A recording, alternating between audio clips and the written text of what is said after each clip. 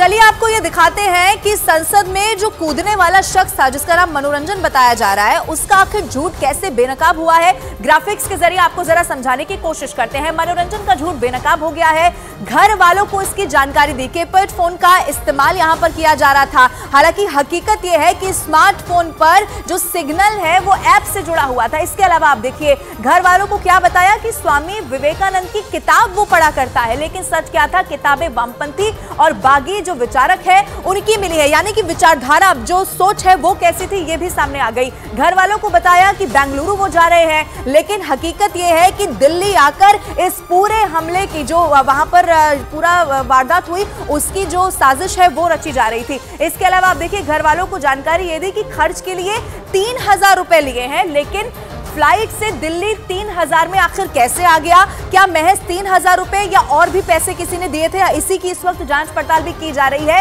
ये वो झूठ है जो बेनकाब हो चुका है, मनोरंजन जो संसद के भीतर कूदता है। और उसके बाद आप देखिए, हर कोई सन्न रह जाता है कि लोकसभा, जहाँ पर जो सिक्योरिटी है वो इतनी टाइट होती है, आखिर कैसे उसे भेद कर ये भीतर घुस जाता है। इसी के साथ आगे बढ़ते हुए आपको ये भी बताएँ कि उसी के पास से ज़रिए आरोपी मनोरंजन और सागर के अंदर दाखिल हुए थे और पुलिस के सूत्र ये भी बताते हैं कि संसद की सुरक्षा में सेंधमारी की इस घटना में राजस्थान के नागौर का रहने वाला महेश भी शामिल होने वाला था।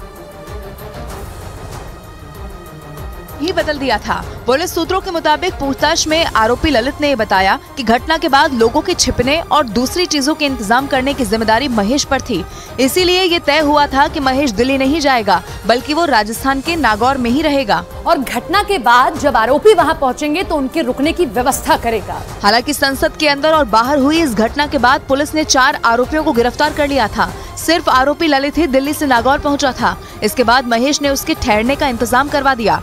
इसीलिए पुलिस महेश को संसद की सुरक्षा में सेंध लगाने की साजिश में बराबर का भागीदार मान रही है। महेश राजस्थान के नागौर ज़िले का रहने वाला है और वो वहाँ मजदूरी करता था। और वो वहाँ मजदूरी करता है। सूत्र बताते हैं कि महेश लगातार इस साजिश में शामिल आरोपियों से बात भी करता था।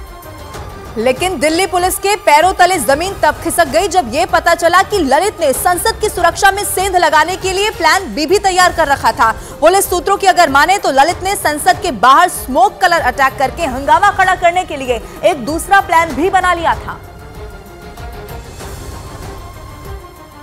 और उस प्लान बी के तहत अगर नीलम और अमोल अपने काम में फेल हो जाते तो वहाँ प्रदर्शन के लिए महेश और कैलाश नाम का एक और शख्स तैयार था। मतलब ललित ने संसद के बाहर हंगामा खड़ा करने के लिए पूरी तैयारी कर रखी थी। सूत्रों के मुताबिक पूछताछ के दौरान ललित ने यह भी दावा किया कि नीलम और अमोल संसद के बाहर नहीं पहुँच पाते तो कैलाश और महेश घटना को अंजाम तक पहुंचाते। और प्लान के तहत वो दूसरी तरफ़ से आते और मीडिया के कैमरे के सामने स्मोक कलर अटैक करते। मतलब इस घटना के वक्त न सिर्फ़ ललित संसद परिसर में मौजूद था, बल्कि कैलाश और महेश भी आसपास ही पूरी घटना पर नज़र बनाए हुए थे। महेश वही है जिसके साथ ललित ने थाने में सरेंडर कर दिया है। आरोप है कि महेश ने ही राजस्थान के नागौर में ललित को पनाह दी थी। सूत्र ये भी बताते हैं कि पूछताछ में कैलाश का नाम सामने आने के बाद पुलिस ने उसे भी हिरासत में ले लिया। पुलिस की टीम कैलाश और महेश से पूछताछ कर रही है ताकि पूरी साजिश से पर्दा उठाया जा सके।